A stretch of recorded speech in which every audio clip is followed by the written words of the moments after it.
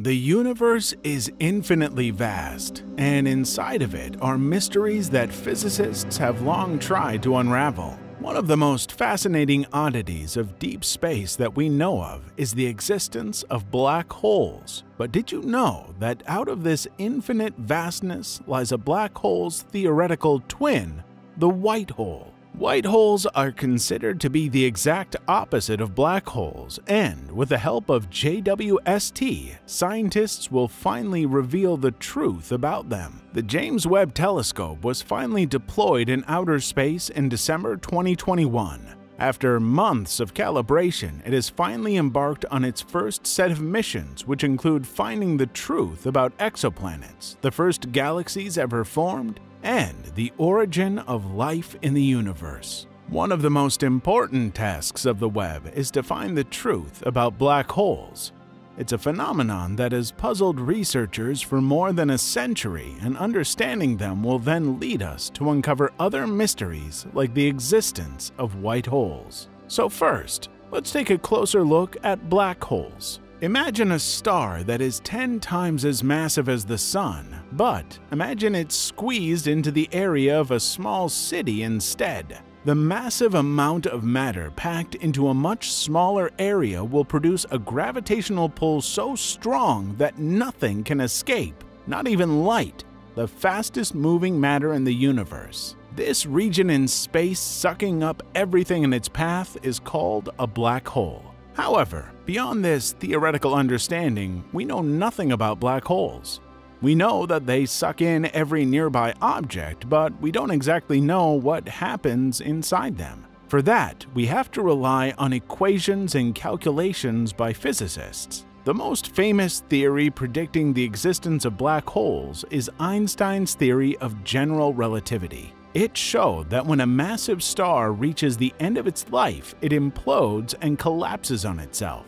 This leaves behind a dense core, and if the core's mass is more than three times the mass of the Sun, the force of gravity overwhelms all other forces and produces a black hole.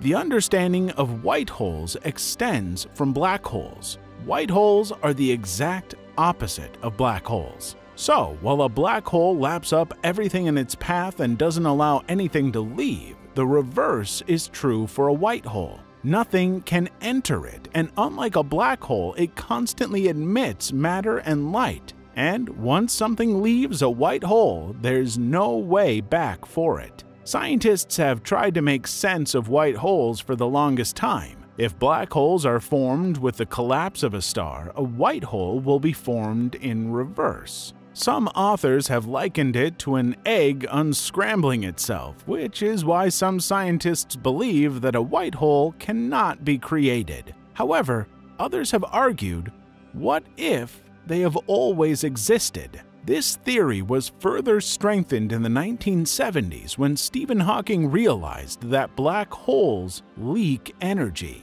This means that a black hole can in fact evaporate away, but if that's the case, then what happens to everything that a black hole holds inside it? General relativity says nothing escapes a black hole, while quantum mechanics forbids the deletion of any matter. So, what happens at the end of a black hole's life cycle? White holes solve that mystery. Stephen Hawking and others have proposed that supermassive black holes are the origin of a white hole, which is to say that a white hole is the death of a black hole. In a 2014 study, Italian physicist Carlo Rovelli suggested that once a black hole shrinks to its smallest, which is when space-time could not be squeezed any further, this dying black hole rebounds to form a white hole. This explanation of the black holes also solves another great mystery and tells us what really happens at the center of a black hole. Just like black holes, white holes may be one of the ingredients of dark matter that we cannot explain. The existence of white holes will also radically alter our understanding of the Big Bang.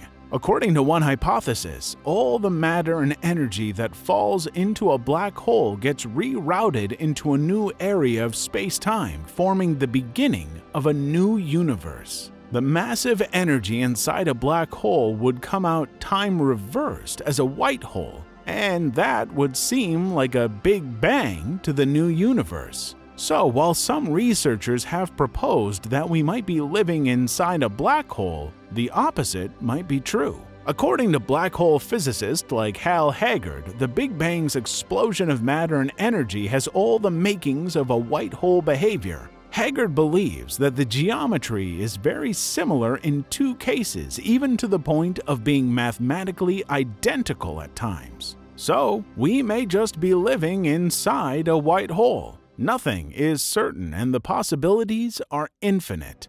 To understand these possibilities and to take us closer to the truth, NASA has created the most powerful telescope ever. The JWST will take us closer to the Big Bang and reveal what has remained unknown for billions of years. Through the Hubble telescope, we have already seen as far as the epoch of ionization, and the JWST will now take us even further and will tell us more about black holes and the existence of white holes. One secret that the James Webb may reveal is what do white holes look like? According to our current understanding, when observed from a spaceship at a distance, a white hole may look exactly like a black hole with a ring of dust and gas around it. However, when observed for long periods, the astronauts observing it will witness it emitting substances an event impossible for a black hole. It is only then that the observer will realize it's a white hole. Another intriguing prospect of the white hole black hole debate is what would happen when these two great forces of the universe meet. They are exact opposites of each other, and their theorized behavior might tell us a lot about a meeting between the two.